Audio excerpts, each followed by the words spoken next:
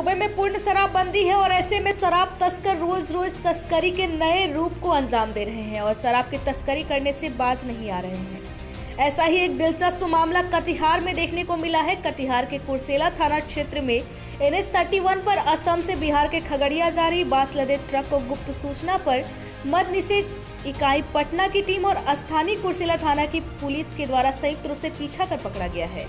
Truck में ऊपर से लदे बाँस के अंदर पूरा एक ट्रक शराब बरामद हुआ है। सभी बरामद शराब अलग अलग ब्रांड का है और शराब की अनुमानित कीमत 50 लाख से ज़्यादा बताया जा रहा है। वहीं पुलिस मामले की छानबीन में जुट गई है।